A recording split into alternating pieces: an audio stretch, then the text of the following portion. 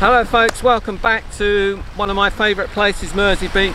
This time we're going to talk about something that the nuclear industry doesn't really understand and that is prevailing wind direction.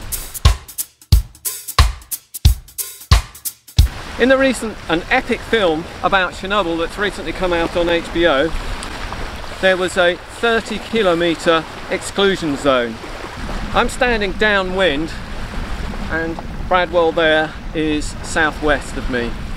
So if we look at the direction that a plume of radioactive contamination would spread on the natural and usual wind it would look like this. So we've gone back to the slide of Chernobyl and if I compare that to the 30 kilometre exclusion zone if something happened at Bradwell, it would look like this. And we can see even Southend, Colchester, most of Chelmsford, and of course Mersea Island are within that zone.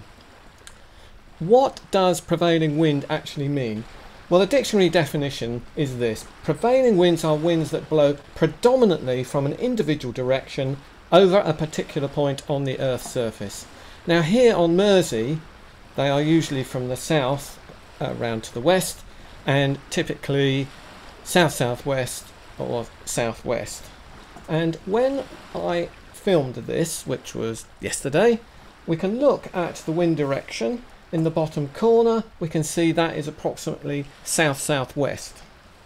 So what we can do is double check on the compass and it came out to 205 degrees. Now south southwest is 202 and a half degrees, something like that. So we're absolutely spot on south-southwest.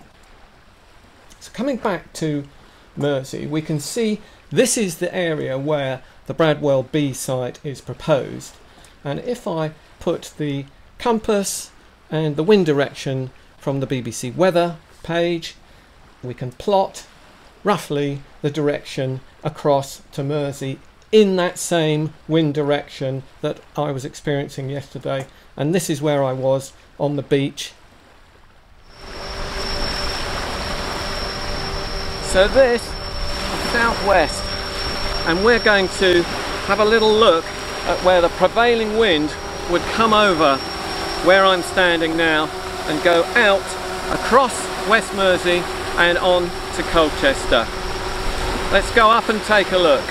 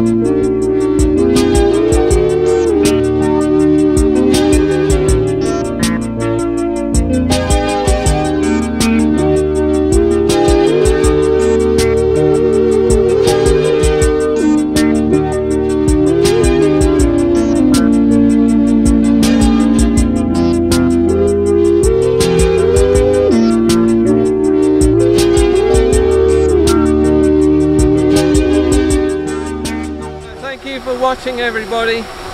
Another glorious day on Mersea Beach. It's kind of early July. Don't forget to subscribe, click on the blob and hope to see you next time. All the best. Bye bye.